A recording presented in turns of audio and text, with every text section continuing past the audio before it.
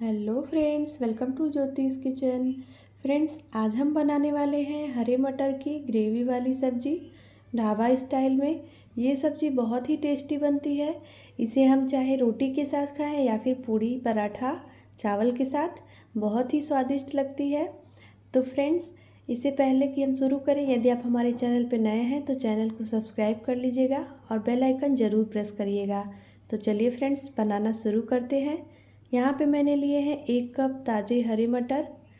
इसे मैंने अच्छे से धुल लिए हैं। अब हम कढ़ाई में पानी रखेंगे लगभग दो गिलास बॉयल होने के लिए और इसमें मटर को डालेंगे। डेढ़ मिनट इसे हाई फ्लेम पे बॉईल करेंगे। मैंने यहाँ पे थोड़ा सा नमक मिलाया है ताकि हरा कलर बना रहे मटर का। अब मैंने यहाँ पे लिया है दो पके टमाटर, एक बड़ी साइज़ की हरी मिर्च और पाँच छः काजू को मैंने भिगा लिया है गर्म पानी में। अब हम ग्राइंडिंग जार में टमाटर को रफली चॉप करके डालेंगे, हरी मिर्च डालेंगे, इसके साथ ही काजू डालेंगे और इसका एक बढ़िया सा पेस्ट बना लेंगे। तो मैंने इसे ग्राइंड करके पेस्ट बना लिया है।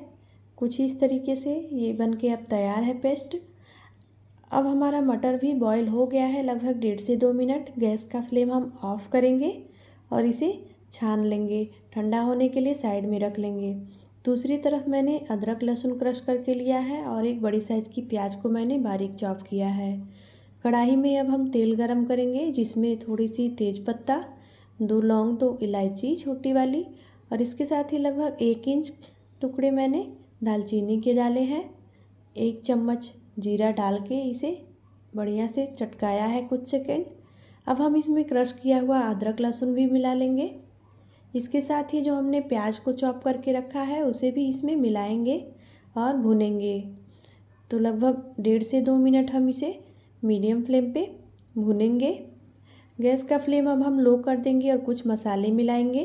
तो एक चम्मच मैंने धनिया पाउडर, आधा छोटा चम्मच हल्दी पाउडर और आधा छोटा चम्मच मैंने लाल मिर्च पाउडर मिला लिया है। अब हम इसे भी कुछ सेकंड तक भून लेंगे मीडियम फ्लेम पे। तो इसके बाद हम इसमें मिलाएँगे काजू, टमाटर, मिर्च का पेस्ट। इसे भी हम बराबर चलाते हुए मीडियम फ्लेम पे एक से डेढ़ मिनट तक भूनेंगे। तो फ्रेंड्स, हमें अभी इसे कुछ देर के लिए ढक के भी पका लेना है ताकि मसाले हमारे अच्छे से पक जाए। तो मैंने इसे ढक दिया है। लगभग दो मिनट के लिए हमें इसे ढक के भी भुनना है, लेकिन बीच बीच में हमें इसका ढक्कन हटाते हुए इसे चलाते रहना है, नहीं तो इसकी तली में मसाले चिपक जाएँगे। तो अब मसालों से तेल अलग होने लगा है। मसाले हमारे अच्छे से पक गए हैं। इसमें अब हम मिलाएँगे नमक। यहाँ पे मैंने आधा चम्मच नमक मिलाया है।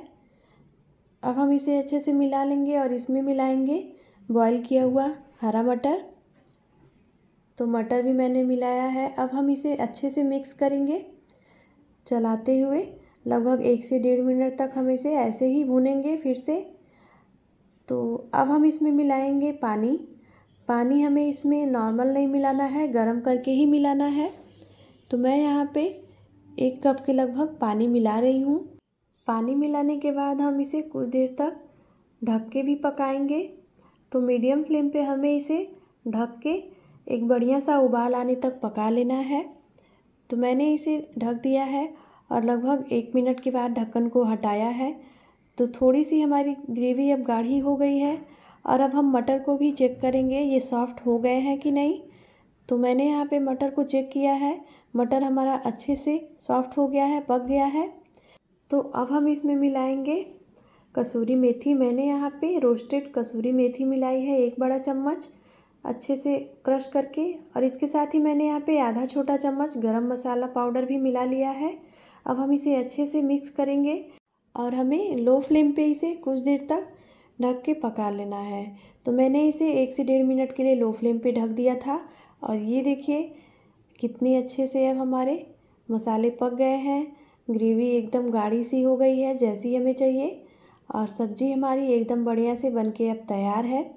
तो अब हमें गैस का फ्लेम ऑफ़ करना है और इसे खाने के लिए प्लेट में निकाल लेना है। तो ये देखिए फ्रेंड्स, कितनी अच्छी हमारी मटर की ग्रेवी वाली सब्ज़ी बन के तैयार है। एकदम बढ़िया सा, एकदम ढाबा स्टाइल में खिली खिली हमारी मटर की सब्ज़ी बनके ग्रेवी वाली तैयार है। तो फ्रेंड्स, अगर ये हमारी सब्ज़ी की रेसिपी आपको पसंद आई, वीडियो को लाइक करिए।